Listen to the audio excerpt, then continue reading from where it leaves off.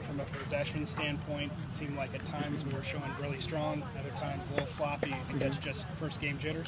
Uh, I think it's more first game fatigue.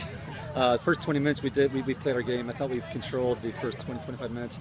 Um, and if we could carry that the whole game, I think we, we had a, a pretty high possession rate. But uh, fatigue set in pretty fast. We are defending uh, too much, and with that comes uh, a little more fatigue. So we just got to get, uh, I think, you know, it'll come. I think we just have to get a little bit uh, better timed runs and uh, make sure we're reacting to those runs as they occur. So.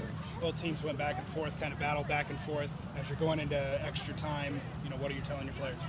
Uh, first period, we're going for the win, and uh, you know we're, we're, we're, we're, gunning for it, but uh, we just weren't getting uh, you know enough organization on the attacking side. And we weren't getting good quality shots. So the second time was defend for your life. Let's just see if we can uh, pull off a, uh, a tie. Not that we're playing for that, but it's just we weren't getting much on the attacking half going. So we were pretty well cashed out, a lot of fatigue. So we just wanted to make sure that we were defending well and we just sort of reorganized things a little bit to finish it that way. What are your overall thoughts? First game, how do you feel?